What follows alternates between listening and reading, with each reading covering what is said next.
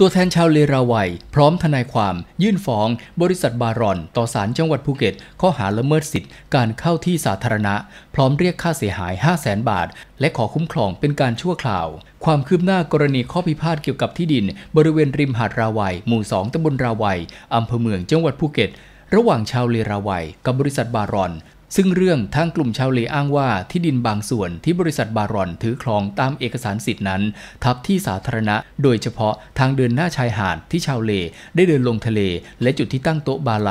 จนหลายครั้งที่คนงานของบริษัทบารอนนำเครื่องจักรเข้าไปในพื้นที่ เพื่อปรับที่ดินบริเวณจุดพิพาทนั้น กลุ่มชาวเลราวัยเข้าขัดขวาง จนมีการทำร้ายร่างกายกันเกิดขึ้น ซึ่งครั้งล่าสุดเกิดขึ้นเมื่อวันที่ 25 พฤษภาคมที่ผ่านมา จนเจ้าหน้าที่ทหารตำรวจฝ่ายปกครองต้องนำกำลังเข้าระงับเหตุ และขอความร่วมมือคนงานบริษัทบารอน หยุดเข้าทำงานในพื้นที่ตรงจุดที่ดินพิพาทชั่วคราว กระทั่งล่าสุดยังไม่มีความเคลื่อนไหวใด ๆ ของบริษัทบารอนเกิดขึ้นในพื้นที่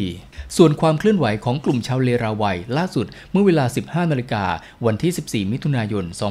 2559 ตัวแทนชาวเลราวัย 3 ราย พร้อมด้วยนายพระสิทธิ์ถาวรล้ำเลิศ ทนายความนำเอกสารหลักฐานเดินทางมาที่ศาลจังหวัดภูเก็ต เพื่อยื่นฟ้องแพ่งต่อบริษัทบารอน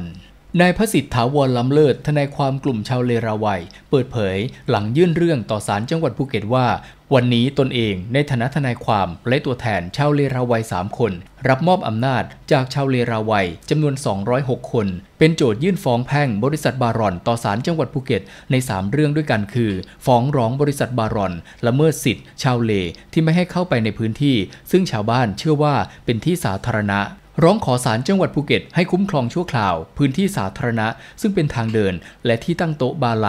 โดยให้ชาวบ้านสามารถเข้าไปในพื้นที่ได้ และฟ้องเรียกร้องค่าเสียหายจำนวน 5 0 0แสนบาท จากบริษัทบารอน กรณีทำให้ชาวบ้านเสียสิทธิ์ในการเข้าใช้พื้นที่สาธารณะ และค่าเสียหาย จากการถูกทำร้ายร่างกาย โดยศาลจังหวัดภูเก็ต นัดไต่สวนในวันที่ 15 สิงหาคม 2559 และนัดพิจารณาคดีในวันที่ 22 สิงหาคม